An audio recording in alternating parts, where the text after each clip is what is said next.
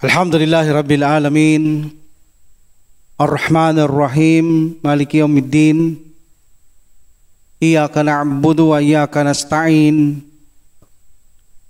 أشهد أن لا إله إلا الله وأشهد أن محمدا عبده ورسوله صلى الله عليه وسلم. السلام عليكم ورحمة الله تعالى وبركاته. So, Alhamdulillah, nung nakaraan ay pinaksa natin ang muling pagbabalik ng mga Muslim galing ng Abyssinia o mula sa Abyssinia dahil nabalitaan nila na ang mga Quraysh ay nag-embrace na sa pananampalatayang Islam. At buong pananabik ng mga kamusliman doon sa Abyssinia na malaman ang katotohanan ito at sila rin ay of course sabik na sa kanilang mga pamilya na makasama ito lalo na sa bagong pananampalataya na dala ng Propeta Muhammad sallallahu alaihi wasallam ang Islam. So that's why ang mga Muslim doon sa Abyssinia ay napagkasunduan nila na bumalik na ng Makkah. Gayon na nga ang nangyari habang sila ay pabalik sa Makkah ay nasalubong nila ang isang karaban at sila ay nagtanong patungkol sa pagyakap ng mga tao sa Makkah sa pananampalatayang Islam. Ngunit sa hindi inaasa ang sagot ng mga karaban, sinabi nila sa mga Muslim na walang katotohanan ang inyong nasagap na balita. So meaning dismayado ang mga Muslim. Wala palang katotohanan ang natanggap na balita na ang mga Muslim doon sa Makkah ay yumakap sa Islam. Ito pala ay walang katotohanan. So that's why ang mga Muslim na pabalik sa Makkah ay dismayado sila sa ganitong sitwasyon. So mayroon sa kanila na hindi na tumuloy sa pagbalik sa Makkah.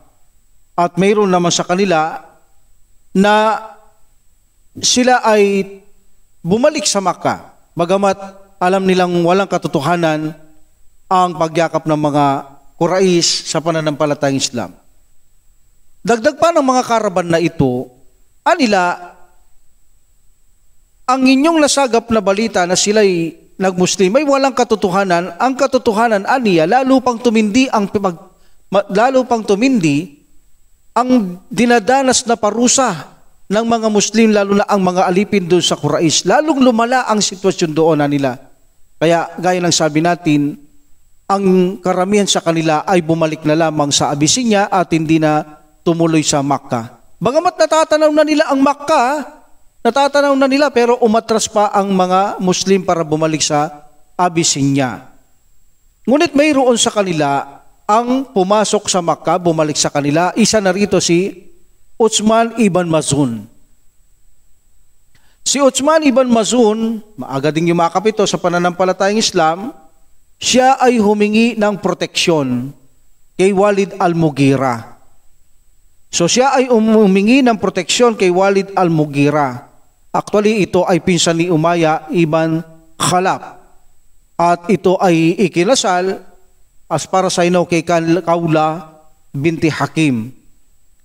So, remember, ha, this is a necessity. Kapag necessity, alam naman natin, maaari tayong humingi ng tulong sa mga hindi mananampalataya, lalo na kung hindi naman sakop sa pananampalataya, walang problema. So even na kung ito ay may sabihin nating umihingi tayo ng tulong sa mga hindi mananampalataya, bagamat ito ay konektado sa pananampalataya, kung itong ang paghingi natin ay para sa landas ng Allah subhanahu wa ta'ala, walang masama na humingi tayo ng tulong sa kanila. Halimbawa, ang Prophet Muhammad sallallahu alaihi wasallam, nung hindi na siya makapasok sa Makkah, humingi siya ng proteksyon sa mga Quraysh.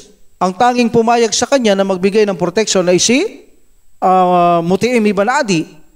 So, binigyan siya ng protection. Bakit ginawa ng Prophet sallallahu alaihi wasallam? Konektado ito sa pananampalataya ang paghingi niya ng tulong dahil malapit na ang Hajj. Gusto niyang magdawa sa mga taong mag-Hajj doon sa Makkah at hahanap siya ng makakatulong sa kanya sa kanilang lugar upang lumikas doon ang Prophet Muhammad sallallahu alaihi wasallam.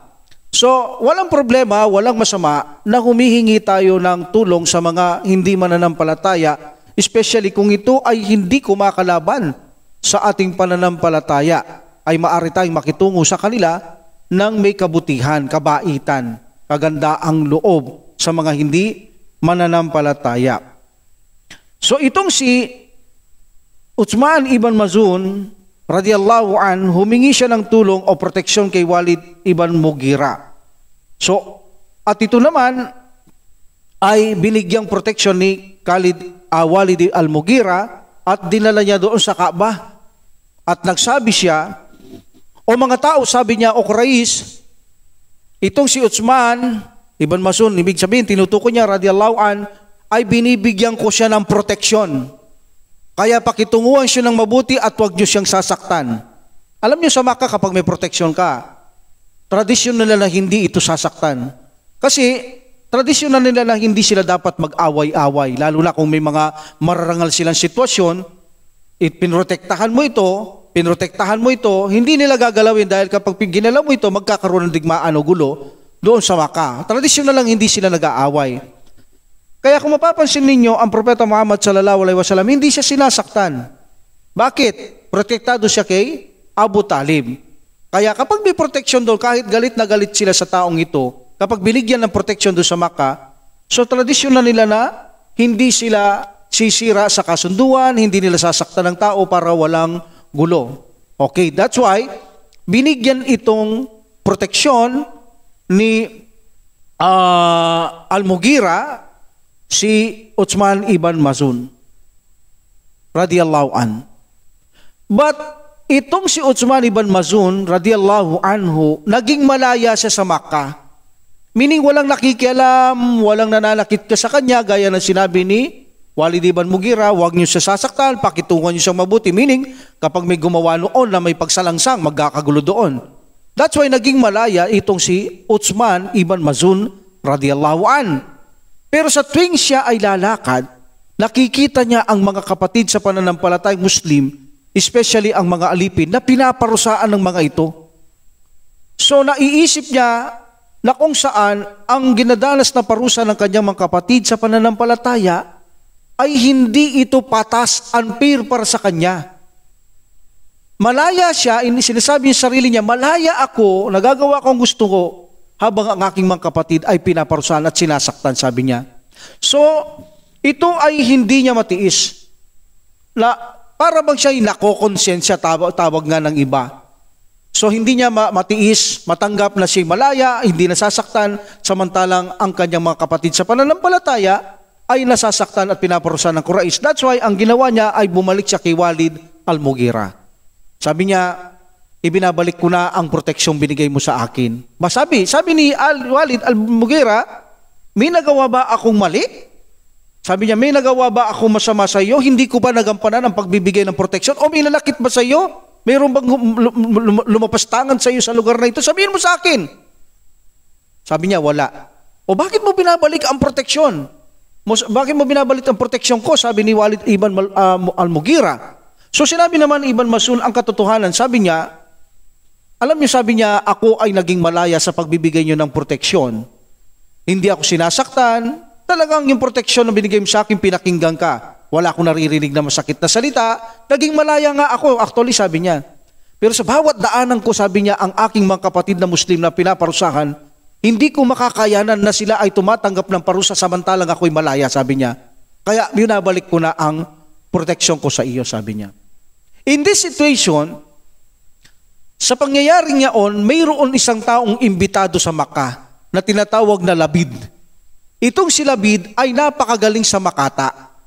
Napakagaling niyang makata. So, eksakto sa araw na yaon, nung ibalik ang proteksyon, ibinalik ni Utsman ibn uh, Mazun radiallahu an ang proteksyon na binibigay ni Walid al-Bugira, saktong-sakto sa araw na yon, mayroong isang imbitadong dayuhan na si Labid na siya ay magbigay ng magandang salita o salitang makata doon sa Mecca.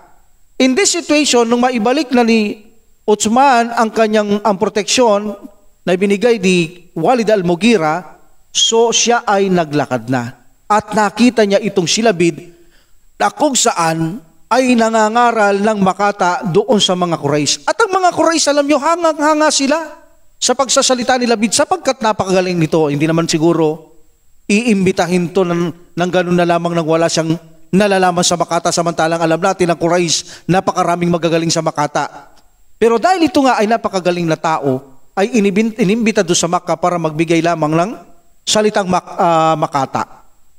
Narinig ni Utsman ibn Mazun radiyallahu an itong silabid na nagsabi, Aniya, lahat maliban kay Allah. Yan ha, sabi niya, lahat maliban kay Allah subhanahu wa ta'ala ay walang halaga. So hindi yun makuha basta ng mga Quraysh.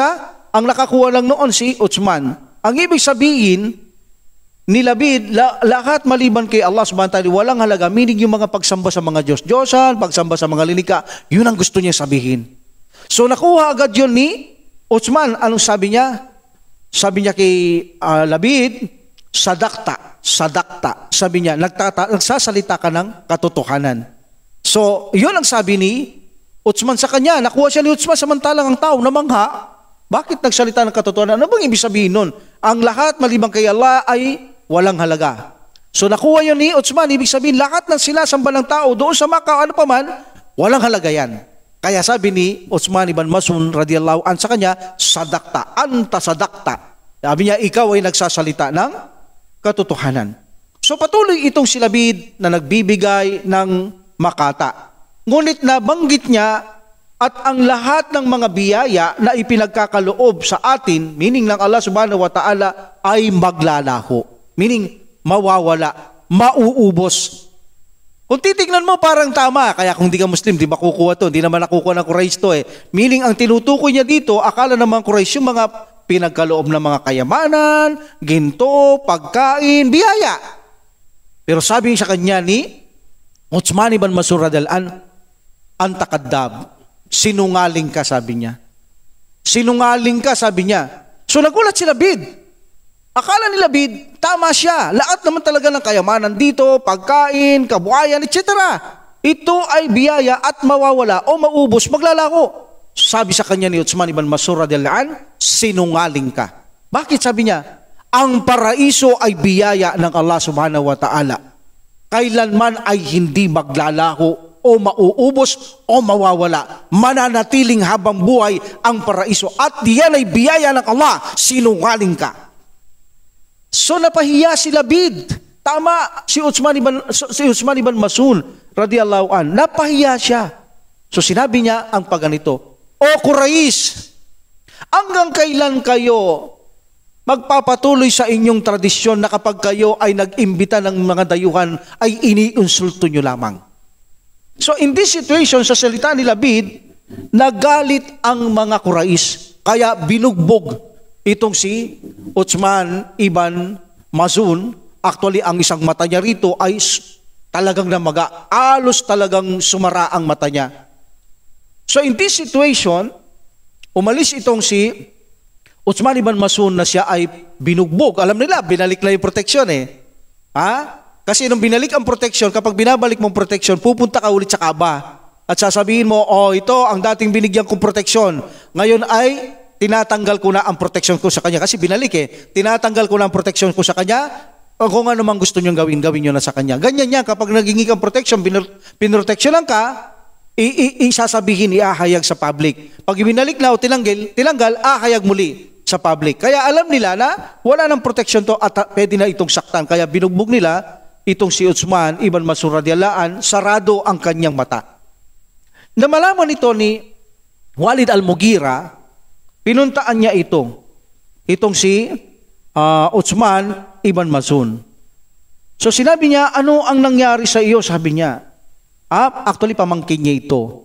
Bakit kasi sabi niya, ibinalik mo ang protection mo sa akin? Nakita mo na tuloy, sabi niya. Ang nangyari sa iyo, binugbog ka. O alos masira na yung mata mo, eh, sabi niya. Anong sagot sa kanya ni Utsman Ibn Mazun? Ang katotohanan nga ay naiinggit ang isang mata ko sa, sa isang mata na ito, eh, sabi niya. Ha? Ang katotohanan nga, sabi niya, ang isa kong mata, yung mabuting mata, yung walang pinsala, ang katotohanan nga, sabi niya, naiinggit itong matang to sa, itong, sa matang bugbog na ito eh. Bakit, bakit sinabi yun ni Utsman ibn Masun, radiallahu an? Sapagkat, yung mata na yun na nabugbog, alos masira, alos mambulat, alos mamaga, iyon ay nangyari for the sake of Allah. Samantala, meaning nagkaroon ito ng blessing. Ito, ang isa, wala. Kaya sabi niya, naiingit to. Gusto niya rin ganun para magkaroon ng blessing. Sabi niya, wala yun, oh, aking uncle. Walang problema yun, sabi niya. Kung ito man ay nangyari sa akin ay tinatanggap ko dahil binalik ko ng protection ko sa iyo at binibigay ko ang pagtitiwala ko sa aking Panginoon, ang Allah subhanahu wa ta'ala. So in this situation, si Uthman, si Uthman ibn Masun pagkatapos nito, hindi na siya nagbalik sa uh, Abyssinia, hindi na ito nagbalik sa Abyssinia itong si Uthman ibn Masun radiyallahu an. So alam din natin Itong si Musab ibn Umair, hindi ko na kailangan sigulong ulitin pa ang kasaysayan ni Musab ibn Umair na kung saan pinaksako na ito ng pagbabalik niya, sa pangalawang pagbabalik muli, nagbalik siya sa Abyssinia. So, hindi ko na ulitin to dapagkat napaksako na ito. Okay? Now, dakuhan natin si Abu Bakar. Dakuhan natin si Abu Bakar. Si Abu Bakar, nang mangyari yaong babalik na ang mga Muslim at nalamang hindi pala totoong nag-embrace sa Islam ang mga Quraysh, bumalik sa Abyssinia at ilan ang bumalik sa kanila, mayroon na naiwan sa Makkah, yung mga bumalik sa Makkah, hindi na bumalik sa Abyssinia, mayroon naman bumalik sa kanila. So in this situation, hindi na rin natiis ni Abu Bakar ang paninakit ng mga Quraysh sa mga pinaparusaan, maging sa kanya, maging sa dila, pag-insulto, hindi na rin magampanan ang tamang ibada. Hindi na magawa ang mga tamang ibada para kay Allah subhanahu wa ta'ala, kaya nakiusap siya kay Propeta Muhammad sallallahu alaihi wasallam. So meaning, pinuntaan niya ang Propeta Muhammad sallallahu alaihi wasallam at nakiusap siya na pahintulutan siya na siya ay pumunta ng Abyssinia. So ganun talaga, hihingi sila ng pahintulot kay Prophet sallallahu alaihi wasallam, hindi sila umaalis nang walang pahintulot ang Propeta Muhammad sallallahu alaihi wasallam. At ito naman ay pinahintulutan ng Propeta Muhammad sallallahu alaihi wasallam na siya ay pumunta rin ng Abyssinia. Sa kanyang paglalakbay, itong si Abu Bakar radiyallahu an, one or two days, nang makarating siya sa Bark Argimad, natagpuan niya doon si Ibn uh, Aldagima. Okay? Aldagina. Nakasalubong niya si uh, Ibn Al-Dagina, actually leader ito ng Habish. Uh, Ahabash, Ahabish. Leader ito ng Ahabish tribe. Itong si Dagina. Meaning, ginagalang din ito sa Makkah. So, nasalubong niya ito, actually, nagtatra, nagtatra, nagkakalakal din kasi ito. Ay, alam natin si Abu Bakar, uh, si Abu Bakar, nagkakalakal din yan. Kaya magka-close, magkakilalang dalawang ito. So nakasalubong ito ni Ibn Al-Dagina, itong si Abu Bakar radiyallahu an, one or two, two days, ng paglalakbay ni Abu Bakar radiyallahu an mag, nang makarating sa Bark al, uh, Al-Gimad, doon sila nagsalubong. Sabi niya, "O Abu Bakar, saan ka pupunta?" Hindi niya naman nakita may karaban siya o mga ngalakal. Sabi niya, "Saan ka pupunta?" Sabi niya, "Napilitan akong umalis sa Makkah." Sabi niya, "Kasi bakit?" Kasi sabi niya, alos sinasaktan kami doon, uh, alos physical, uh, sa kanilang mga dila, hindi namin magampanan ang pagsamba namin sa aming Panginoon. Hindi kami makakilos ng maluwag, masyado masikip. Masyado na kami nahihirapan. That's why napilitan na akong umalis sa Makkah. So sabi ni Ibn Aldagina, hindi nila dapat gawin sa iyo yan. Dahil ikaw ay taong napakabait. Alam natin si Abu Bakar radiyallahu anhu kasing gugali ito ng propeta Muhammad sallallahu alaihi wasallam. Sabi ni Aldagina, ikaw ay taong napakabait mga nangangailangan, iyong tinutulungan. Lahat ng lumalapit, iyong binibigyan. Mga dayuhan kapag sila'y nangailangan, iyong itong binibigyan, tinutulungan. Sabi niya, hindi dapat gawin sa iyo ito. Sumama ka sa akin at bibigyan kita ng protection sa Maka. So sumama itong si Abu Bakar radiyallahu an kay uh, Ibn Aldagina at pagpasok nila sa Makkah, pumunta, ay, ito, ito yung sinasabi ko, pupunta sa Kaaba at sasabihin sa public sa mga tao, o Quraish, itong si Abu Bakar mula ngayon ay bibigyan ko ng proteksyon. Hindi niyo dapat gawin sa taong ito na ito'y pahintulutan niyong umalis. Napakabait na tao ito, matagal ko nang kasama at kami ay lubusang magkakilala. Mula pa sa aming mga pangangalakal ay kilalang kilala ko ang taong to. Maging sa labas ng lugar kahit hindi niya kilala. Kapag lumapit at nangailangan, hindi ko nakitang ipinapahiya ng taong ito. Lalo na sa loob ng Makkah. Mga kamag-anak niya ay hindi niya pinuputol lang ang unayan kahit sinasaktan siya. Siya ay handang tumulong sa mga naglalakbay, mga may utang. Maging alam natin ang mga alipin na mga tinubos ni Abu Bakar, tinubos niya at nakapito na siya ng tubos sa panahong ito. Pati pera niya, in, inuubos niya para, para sa Allah subhanahu bili niya lamang kapalit ng paglaya ng mga alipin na pinaparusahan. Napakabait, sabi niya, anong karapatan niyong paalisin ang taong ito sa loob ng Mecca? So mula ngayon, sabi niya, binibigyan ko ito ng proteksyon. Hindi niyo siya kailangan saktan at wala kayong gagawin sa kanya at huwag na huwag kayong magpakita ng masakit na pananalita sa kanya. Yan na. Protection, another protection ni Abu Bakar doon sa Makkah, radiallahu an. Pero sabi ng mga Quraysh, okay, Iban Aldagina, pagbibigyan ka namin. But in one condition, wag na wag niyang aayang sumamba siya sa labas, manatili siyang sumamba sa loob ng kanyang bahay, mag-recite siya o anong gawin niyang pagsamba, gawin niyang gusto niya. Malaya siya, basta sa loob ng bahay. So sinabi ni Iban Aldagina sa kanya, dahil narinig din ito ni Abu Bakar nandun, narinig mo naman, na ikaw ay protektado ko, walang mananakit, ngunit sa kondisyon, sambahin mo ang iyong Panginoon sa loob ng iyong bahay. But hindi ganun ang nangyari. Ang ginawa ni Abu Bakar, radiyallahu an, siya ay gumawa ng parang musala doon sa tabi ng daanan ng tao. Hindi naman kasi napapansin yon, wala silang idea kung anong ginagawa ni Abu Bakar, wala. Nung matapos yon, doon nagsasala ngayon, si Abu Bakar hindi sa loob ng bahay. That's why, ang nangyari ngayon, ang mga bata, ang mga babae na dumadaan doon, every time na madaanan nila si Abu Bakar ay umiiyak. So nagkaroon silang interest na tumigil, bakit siya umiiyak? Yun pala, kapag nagdarasal, nagre-recite siya ng Quran, ng ayos sa Quran, at alam naman natin, magandang luha ni Abu Bakar radiyallahu anhin din, so umuupo sila at nakikinig at umiiyak din sila. In this situation, paulit-ulit na nangyayaron, every time sila pumupunta ang mga bata, ang mga anak, mga anak, mga bata, mga babae, nakikinig at nakikita nilang umiiyak kapag umiiyak na si Abu Bakar radiallahu an dahil sa kanyang pag-recite ng Quran. So nakita ito ng mga Quraysh. So pinatawag nila si Ibn Aldagi na sabi nila, hindi ba, sabi niya, sabi nila, ayaw naming gawin sa iyo para putulin mo ang binigay mong protection kay Abu Bakar. Ngunit hindi ba sinabi namin sa iyo na si Abu Bakar ay malayang gawin niyang pagsamba basta sa loob niyang bahay niya. Ngunit ang nangyari, sabi niya, siya ay nagsagawa ng kanyang silid na mapagdadasalan at daanan ng tao at naririnig ng mga tao, every time na marinig siya ng aming mga kababayan, ng aming mga anak, umuupo sila, umiiyak sila, nangangamba kami baka sumunod sila kay Abu Bakar. Sabi na, Iban Aldagina, kung hindi mo kaya na papagsambahin uh, si Abu Bakar sa kanyang kaloob ng bahay, ibalik mo ang proteksyon. Pabalik mo ang proteksyon ni Abu Bakar sa iyo, bitawan mo siya. Ngunit kung siya ay magsasabi sa iyo, pag pinuntaan mo siya, nagagawin niya na ang kanyang pagsamba sa loob ng bahay, okay, walang problema. So bumalik si Ibn al-Dagi na kay Abu Bakar radiyallahu an. Sabi niya, Abu Bakar, di ba sinabi ko na sa iyo magsamba ka sa loob ng bahay mo at narinig mo naman? Hindi kita pinoproteksyonan para pinsalahin mo ang mga tao dito.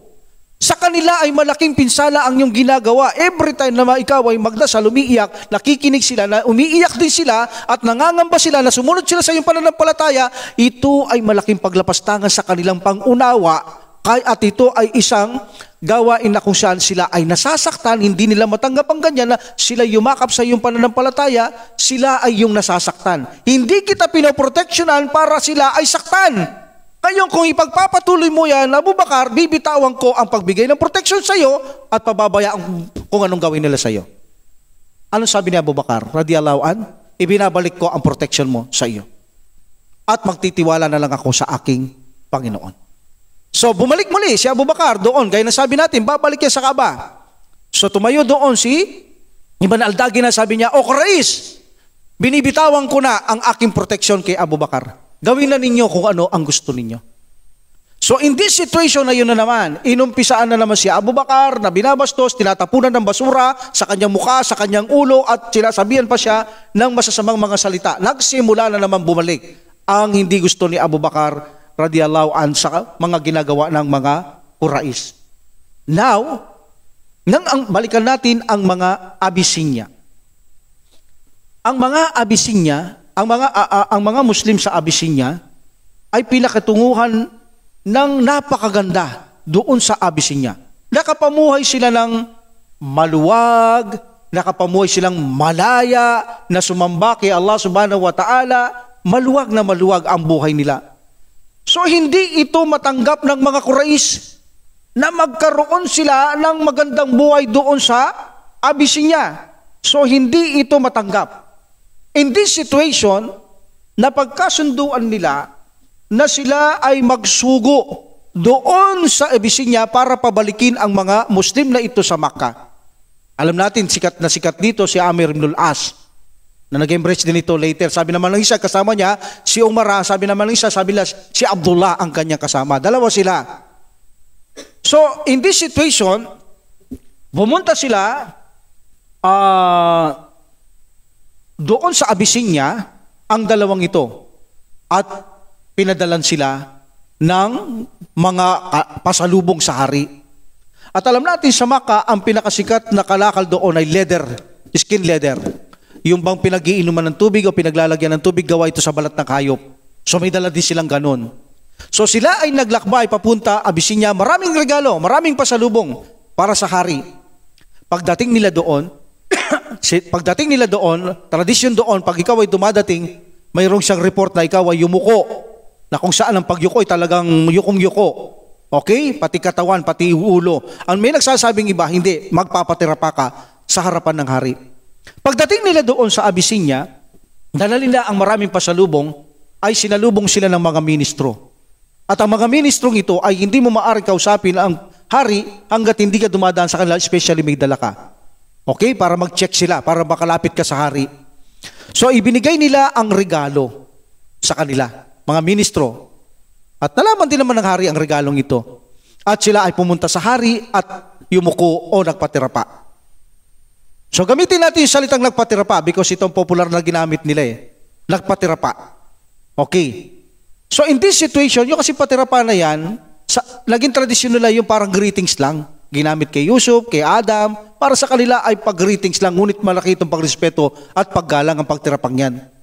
So na, na, nakaugalian nilang ganun bagamat sa Islam noon, nandun ang Prophet Islam, bawal yun. Okay? So in this situation, nung sila ay pinatayo ni anang Negus King, sabi niya, bakit kayo na parito, kaibigan niya eh, si Amir Blul As, radiallahu kaibi, radiallahu an, kaibigan niya ng Negus King. Sabi niya, kaibigan, bakit ka napunta at napasyal? Sabi niya, yaong mga tao sa amin na iniwan ng aming reliyon na kung saan ay nag-iwan ng puot at galit sama ng loob sa aming mga pamilya, aming mga kamag-anak doon, na kung saan iniwanan ng aming reliyon ay napadpad sa iyong lupa, kalupaan. Ang nais sana namin, sabi niya, sabi ni Amir Nul As, na kung saan, ang nais sana namin ay ibigay niyo sila sa amin upang pabalikin sa Makkah. So, gaya ng sabi nating nakaraan, itong Negus King na ito, may batas Makatarungan. Hindi siya gumagawa basta nang walang, kataka, walang katarungan. Kaya sabi niya, ano sa, ano sa palagay mo sabi niya, ibibigay ko na lamang sa iyo, kaibigan, nang gano'n na lamang na hindi ko maririnig ang kanilang panig? So, yun ang justice ng hari eh. Hindi siya bias. So sabi niya, hayaan mong marinig ko ang kanilang panig bago ko ibigay sa iyo. Ngunit kung hindi totoo yung sinasabi mo, hindi makatwiran, hindi hindi mo sila makukuha dito. So pinatawag ngayon ang mga Muslim, nagsugo ang hari para tawagin ang mga Muslim. So na hanggang makarating ang sugo ng hari sa mga Muslim, pinatatawag kayo ng hari. Sapagkat may dumating sa inyo na taga Rais sa Makkah na kung saan iniwan nyo raw ang kanilang relihiyon, na kung saan nag-iwan kayo ng sama ng loob sa mga kamag-anak, pagpuputol ng mga ugnayan ng mga kamag-anak, pinababalik kayong muli, inihiling sa hari yan. So nalito sila, nagulo ng konti, ang mga Muslim. Sabi ni Ja'far radiallahu an, sa araw na ito, hayaan nyo akong magsalita. Pabayaan nyo ipagkaloob nyo sa akin ang posisyong ito ngayon. Ano naman sasabihin mo? Wala tayong sasabihin maliban sa katotohanan. Hindi natin kailangan magsinungaling. Lagay natin ang ating tiwala kay Panginoong Allah Subhanahu wa Ta'ala. Put your trust to Allah Subhanahu wa Ta'ala. Siya ang pinakamahusay na magtangan ng ating buhay. Okay? So pabayaan niyo ako, sabi ni Jafar. So pumunta sila doon sa hari. Pagdating nila sa hari, inaasaan ng mga ministro, mga monghe na nandun sa arapan, magpatira pa sila. Pero hindi nangyari yon. So nagalit ang mga ministro doon. Bakit hindi kayo nagpapatira pa sa harapan ng hari? So nakatingin nitong si Negos King sa kanila, naghihintay ng respond. So sumagot si Jafar. Sabi ni Jafar, radiyallahu an, Nung ipadala sa amin ang Propeta Muhammad sallallahu alaihi wasallam at kami naniwala sa kanya, ipinagbawal sa amin ang magpatirapa maliban kay Allah subhanahu wa ta'ala. Ang inutos sa amin ng sugo ay magpatirapa lamang kay Allah subhanahu wa ta'ala at huwag magpatirapa kanino man. Kaya kami ay hindi gumawa ng pagpapatirapa ay pagpakumanin mo o mahal na hari. Sabi ng mga Muslim. So naintindihan ito ni Negus King. Pinabayaan niya sila. Okay, sabi niya, ano ang sinasabi ng dalawang ito na kayo daw ay umalis doon sa Makkah na nag-iwan kayo ng puot, galit, pagpuputol ng ugnayan sa kamag-anak at iniwan nyo ang relihiyon nila at pinalitan nyo ng iba. Nagkristyano ba kayo? Hindi, sabi ni Japar. Hudyo? Hindi, sabi niya. Mangyan? Hindi. Sabi, o di, hindi, ngayon nagtataka si, ano kaya relihiyon to? Sabi ng Negos King, meron ng mga ito. Pero bago niya tinanong yon, Totoo ba ang sinasabi ng mga ito na kayo nga ay tumalikod sa reliyon nila at nag-iwan ng kaguluhan doon? Sabi ni Ja'far radiyallahu an,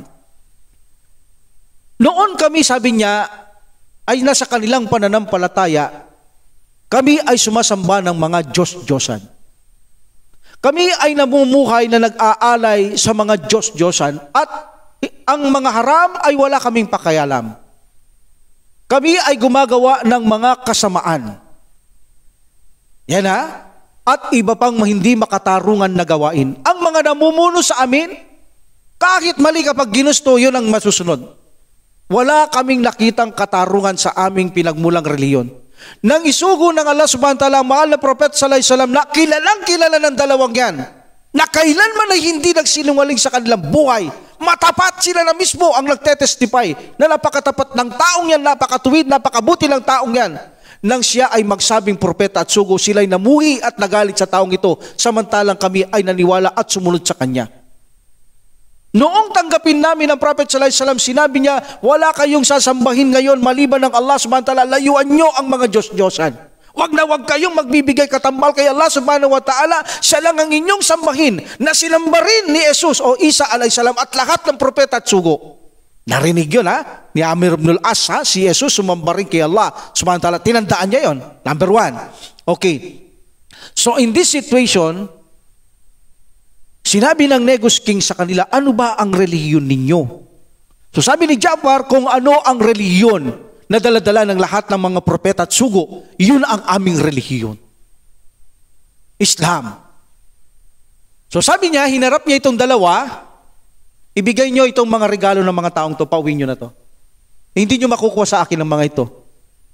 Makatwiran naman pala ang ginawa ng mga ito kung bakit sila umalis sa inyo, kasama pala Nabanggit din kasi ni Japar to, na sinasaktan nyo sila, pinaparusahan nyo, at hanggang ngayon mayroon kayo pinaparusahan mga alipin doon na Muslim, anong karapatan nyo na sila yumakap sa reliyong to para sila ay padusahin nyo ng ganito? Pagpaparusahin nyo, na sila hindi makapaglingkod sa kanilang sinasamba. Walang katarungan pala ang ginawa ninyo hanggang mapilitan sila na pamunta sa aking kalupaan at nakiusap sila at kinupko ko sila, ngayon kukunin mo sila ng kawalang katarungan? Umuwi kayo. Bigyan nyo mga regalo mga to. So in this situation, natandaan ni Amir yung patungkol kay Jesus. Sabi niya kay Abdullah or Umar, dalawa kasi, may tilap doon. Huwag muna tayong uwi. Minsan pa. Babalik tayo. Yung paniniwala nila kay Jesus, salungat sa paniniwala ng Negus King. So okay, sabi ng kasama niya, bukas. Tanong natin. Hindi sila umuwi. So muli ay nagbalik sila doon sa Negos King, nagpatira pa at nagsabi, Hindi ba pinauwi ko na kayo? Sabi niya, O mahal na hari, mayroon pa kaming isang pakiusap na kung saan yung paniniwala ninyo tungkol kay Jesus ay salungat sa paniniwala nila. So muli ay pinatawag na naman ng mga Muslim ng hari at si Japar muli ang magsasalita. Dito maingat dito si Japar. Radiyallahu an. Anong paniniwala nyo kay Isa alayhisalam or Jesus? So nag-isip si Japar, alam niya, makristyano to, kailangan maingat siya. So sabi niya, sabi niya naman, hindi siya magsasalita hindi totoo eh. Si Jesus o Isa alayhi salam, Siya ay isang nagbigay ng balita patungkol sa aming propeta Muhammad sallallahu alaihi wasallam. Wa mubashiran bi rasuli ya'ti min ba'dismuhu Ahmad. Ayon sa inyong kasulatan. Naaalis siya at pagkatapos ay darating ang pangalan ni Ahmad. Radia, sallallahu alaihi wasallam. At si Jesus, sabi niya, siya ay isang espiritu galing kay Allah subhanahu wa ta'ala na ipinagkaloob niya sa loob ng sinupupunan ni Maryam na walang nakasaling sa kanya. Tumigil si Japar. Bakit? Ang susunod kasi, hindi siya anak ng Allah. Hindi siya Diyos. Hindi niya na sinabi yun. Tumigil na lang siya. So sabi ng hari sa kanyang mga mongge, ministro, anong masasabi niyo? Higit kayo maalam, sabi ng mahar na hari, kumuha siya ng tangkay, pinulot niya, yung sa binali, report. Yung tangkay, tinaas niya. Yung sinabi niya, walang kulang, walang labis, wala siyang binawasan, wala siyang dinagdag. Kaya ibalik nyo na ang mga regalo nito at palayasin nyo na dito to. So tuwan-tuwa naman ang mga Muslim. Pero ang totoo, ang Negos King kasi, kahit na Kristiyano sila, hindi siyang naniniwalang Diyos si Jesus. Wala siyang paniniwala na si Isa ay Diyos. Wala. Siya ay tamang-tama, kaya dinampot niya yun eh. Dinampot niya, walang dinagdag, walang labis, walang kulang sinabi ni Japar. Dahil totoo yun. Alam na rin ng Negos King ang susunod na sasabihin niya, hindi anak ng Allah, hindi siya Diyos, hindi lang sinabi. Pero alam ng Negos King yun, kaya itinaas niya yung sinabi niya, walang dagdag, walang kulang, walang bawas. Kasi yung laki nito, saktong-sakto, walang dagdag, walang bawas, ang sinabi ng taong ito. Meaning, tinanggap ng Negos King si Propeta Muhammad sallallahu alaihi wasallam. Nag-embrace na siyang palihim. Dahil walang paniniwala ito kay Jesus na siya ay Diyos. Wala. So nakita ngayon ng mga monghe na halata nila itong si Negos King na kung saan parang tinanggap niya ang relihiyon ng mga Muslim. Kaya nagkaroon ngayon ng mga pananahimik, parang gustong mag kodeta na, kapit na lagi na sa kodeta, hindi lang welga. Gusto na talagang kodeta ng mga tao doon palayasin na itong haring ito. Sa nakita nilang parang nag-embrace siya. Nakalatado nila ito dahil mga monghe nila, yung mga maaalam nila, sila na mismo ang nagsabi na tinanggap niya ang Islam. Dahil yung sinabi niya na yung walang dagdag, walang labis, walang kulang doon sa sinabi niya, meron eh. Tinanggap niya na kung saan, siya'y galing lamang sa Espiritu ni Allah subhanahu na siya pumasok sa relihiyon na pupunan ni Maryam galing kay, mula kay Allah subhanahu wa meaning likas siya ng Allah subhanahu wa alam na natin ang kasunod nun eh. Hindi siya Diyos, hindi siya anak ng Allah, ah, hindi siya Diyos, sabi niya, at hindi siya magiging anak ng Diyos o anak ng Allah. Alam na natin yon. Pero ang hari natin nakita nyo, sabi niya walang dinagdag, walang kinulang, alam na nila yon. Kaya nagalit itong mga mahuhusay na sila sa aklat. So napansin din ni Negos King na parang ang mga tao sa kanya ay wala na, nawalan na ng gana. So para mag siya namumuno na lamang na wala. Of course, kapag napagkaisang ka, ano mangyayari sa iyo? Paano mo lalabanan kung walang, wala ka ng kakampi? O sino, o anong uutusan mo, patayin sila? Sino ang uutusan mo? Ikaw nga gustong patayin ng mga to eh. So nahalatado niya.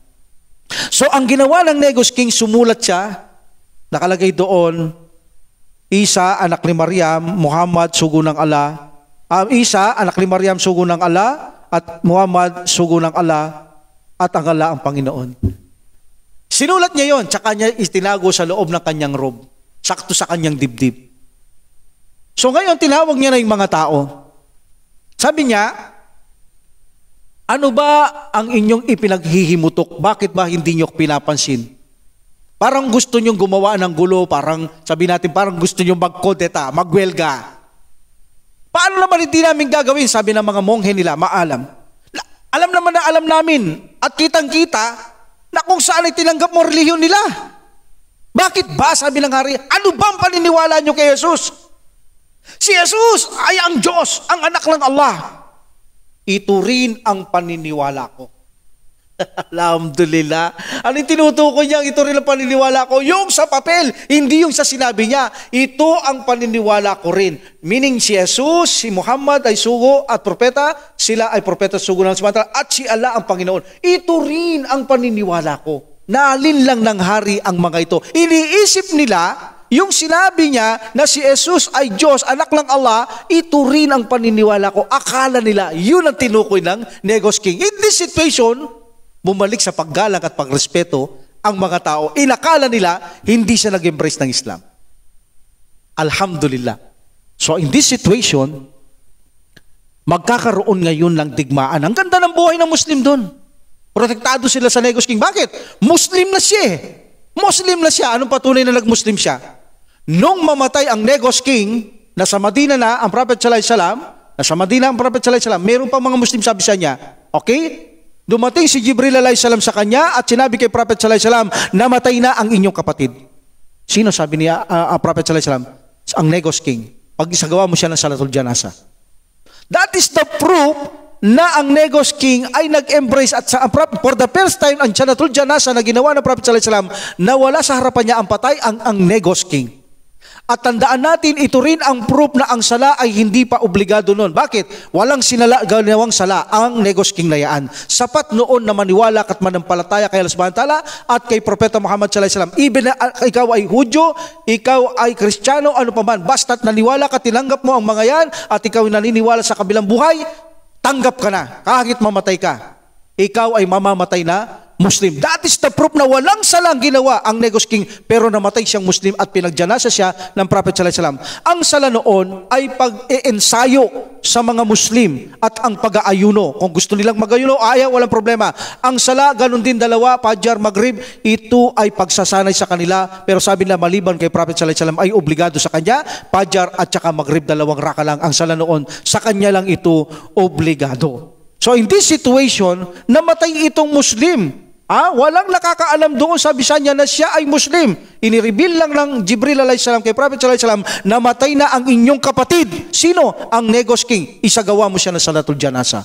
There is a possibility na hindi nagsalatul janasa ang Samadi sa Ibisinya, mga Muslim, wala pang kaalam-alam doon ang mga Muslim patungkol sa Salatul Janasa. Dahil alam natin, sa Madina palang babagsak ang mga rulings, ang mga sala, especially five times sala after Isra wal Mi'raj bago pumunta Madina, Prophet Sallallahu Alaihi Wasallam. Diyan palang mga batas. Kaya walang kaalam-alam sa Salatul Janasa ang mga Muslim doon, kaya hindi nila magawa doon kay Negos King. Kaya ang Prophet Sallallahu Alaihi Wasallam ang nagsagawa ng Salatul Janasa sa Negos King. So that is the proof na siya ay nag-embrace sa Islam. Kaya ang mga Muslim doon, napakaganda ng buhay nila Napakaganda ng buhay nila.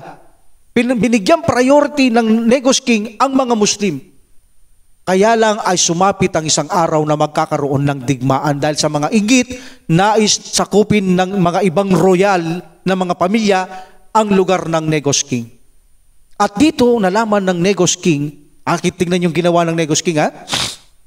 Sabi niya, inipon niya mga Muslim, palihim. Sabi niya, Japar, mayroong nagnanasa na sakupin kami dito. Kung sakaling may masamang mangyari sa amin, ipinahanda ko na ang isang barko para sa inyo. Lumisan kayo. Ah, kapatid niya na eh. Kapag may nangyari sa akin o sa amin o sa akin, mismo siya, yung barko pinahanda ko na para sa inyo. Pag nabalitaan nyo na matay ako, umalis kayo dito. Dahil sasakupin na ito. So in this situation, ang mga Muslim, nang malapit ng digmaan, River of Nile, Nile River, doon magkakaroon digmaan, sila ay nagdudua kay Allah subhanahu wa ta'ala na ibigay ang tagumpay kay Negos King. So na magkaroon na ng salpukan, digma sa River Nile, nagdudua sila kasalukuyan kay Allah subhanahu wa ta'ala mga Muslim. At ang isang tao ay inutusan o magpresenta sinong may gusto sa kanila para tignan ng digmaan. So nagpresenta si Subayr ibn Awam radiyallahu an, siya ang nagpresenta na manuod. Pumunta siya doon sa digmaan. Ha? At nanonood siya. At ipinanalangin niya na itag- may tagumpay bigay din sa mga Abisinyan. Alhamdulillah, ibinigay ng Allah subhanahu wa ta'ala ang tagumpay sa Negos King, tumakbo si Subay Ribanawam. Sabi niya, masayang balita. Sabi niya, masayang balita, lawak marhamdulillah. Nagwagi ang Negos King. Tuwang-tuwa ang mga Muslim nagpasalamat kay Allah subhanahu wa ta'ala dahil makakapamuhay pa rin sila ng patuloy na malaya at maligaya at makasamba ng mabuti kay Allah subhanahu wa ta'ala doon sa bisin niya. Kaya lang, noong mag, ang Prophet sallallahu alaihi nabalitaan na ng mga Muslim nandoon na sa Madina, nakiusap na sila na kung saan ay pahintulutan silang maghitsra sa Madina. Ito ay nangyari, sabi nila, in the Battle of Kaibar. But for my, my humble opinion, after the Battle of Kaibar, kapag katamprop ko doon, nung dumating si Ja'far, kasama ang mga Muslim kay Prophet sallallahu alaihi wasallam after Battle of Kabar, uh, Kabar, uh, Kaibar, sabi ng Prophet sallallahu alaihi wasallam sa kanya, hindi ko alam kung matutuwa ako sa tagumpay namin sa Kaibar o pagdating mo. So meaning, after Battle of Kaibar, doon dumating si Jafar at mga Muslim dahil sinabi niya, hindi ko alam kung matutuwa ako sa tagumpay namin sa Battle of Kaibar o sa iyong pagdating. So that's why, mas for my humble opinion, dumating sila sa Madina after the Battle of Kaibar. So nakiusap sila sa hari na pahintulutan silang pumunta na sa Madina para makasama na ang sugo ng Allah subhanahu wa ta'ala. Buhay pa dito ang Negos King. So binigyan sila ng masasakyan ng Negos King ang mga, mga Muslim. Ganun niya kamahal eh. Ang mga Muslim, pagka inihingi, binibigay. Minakal niya ng gusto kaya ang mga Muslim, alam nila nag-embrace ito eh. Bagamat wala silang alam sa panloob, pero yung action niya nakikita nila at nadaramang nag-Muslim na ang Negos King. Hindi sila napapahiya, lahat ng gusto nila binibigay. Can you imagine mga Muslim binigyan niya itong masasakyan? Tapos nagpasama siya ng isa na ta- tauhan. Sama niyo siya, sabi niya kay Japar. At sabihin niyo sa sugo ng Allah, na kung saan sabi niya, kung ako lang ay makakasama ng sugo ng Allah, eh, ahalikan ko ang kanyang paa at magiging tagapagbitbit ako ng tsinelas niya o sandalya niya. Kaya lang, hindi mangyayari na yun dahil nandun ang, ang hari. So alatado naman eh, sa salita niya pa lang, alatado naman eh. Biro mo kung makakasama niya ako, halikan ko paa niya, bibitbitin ko mga sandalyas niya, ibig sabihin magiging tagasunod siya ng Prophet sallallahu alaihi wasallam. Daman-dama ito ng mga Muslim. So sama niyo siya, sabihin, sabi, sama niyo itong isang tao ko, sabi niya, at sabihin mo sa kanila, Japar, sa sugo ng Allah, sabihin mo sa kanya kung paano ko kayo pinakatunguhan.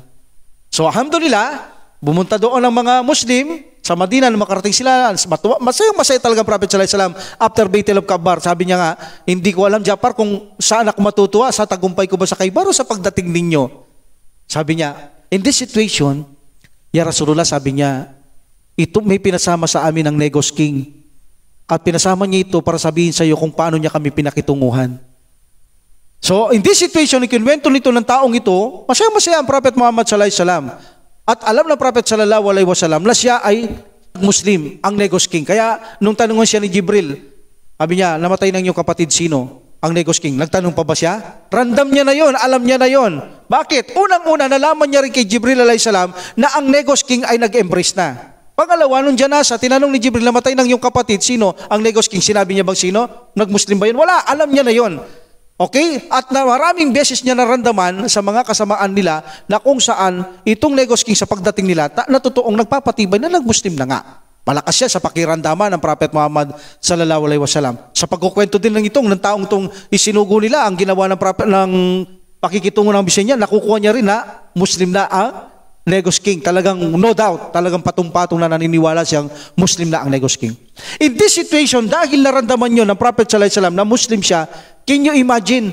Siya ay nagsagawa ng wudu at nagsala at sinabi niya, sabihin mo, bumalik ka sa iyong hari. Iningi ko siya ng tawad sa Panginoong Allah subhanahu wa ta'ala. O yan, sabi ni Japar ha, kung pinakitunguhan siya ng ganito, ng Negos King, ang, ang Propeta Muhammad sallallahu alaihi wasallam kami, sabihin mo naman ngayon, ipinaghingi ka ng tawad ng Propeta Muhammad sallallahu alaihi wasallam kay Allah sa, sa, sa inyong Panginoon sa inyong Panginoon.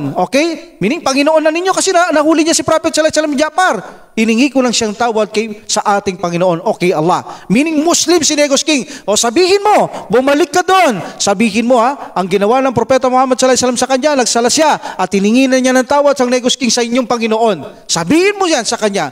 So, kay sekreto niya ito, itong ano na ito, inutusan niyang uh, tahuan na ito, talagang tahuan talagang uh, ano man tawag doon, tapat ito sa Negos King. Tapat ito. Walang makakaalpas na salita sa mga taong iba maliban ito kay Negos King. Makakarating ito sa kanya. So in this situation, bumalik yung uh, pinasama ng Negos King at nakarating ito kay Negos King. Sabi niya, ipinaghingi na raw po kayo ng tawad ng propeta sa inyong Panginoon. Alam ng Negos King ang lahat ng mga propeta at sugo kapag nanalangin kay Allah subhanahu wa ta'ala, never na ito'y tinatanggihan ng Allah subhanahu wa ta'ala. Kaya napakasayang napakasaya niya. Ang haring ito, can you imagine, nasabi niya sa kanyang sarili, kulang pa ang ginawa niyang mabuti sa mga kamusliman nung sila ay naroroon. Kung ikukumpara ang ginawa ng propeta sa akin na ako ay hingingi ng tawad sa aking Panginoon. Alhamdulillah. So meaning, ito ang naging buhay ng mga Muslim sa Abyssinia pagkatapos nilang magbalik sa pangalawang pagkakataon at yung mga iba pumasok sa Maka, meron nang hindi bumalik at ang iba naman ay nagbalik pa doon kahit nakapasok ng Maka. So inshallah, dadako tayo sa susunod. Wa akhiru da'wati alhamdulillah rabbil alamin wa salatu wa salam ala rasulillah. Subhanakallahumma wa bihamdika asyhadu an la anta astaghfiruka wa atubu ilaik. Assalamualaikum warahmatullahi taala wabarakatuhu. Allah